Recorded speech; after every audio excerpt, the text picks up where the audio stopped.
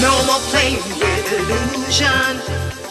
It's time to make it real. Your intuition,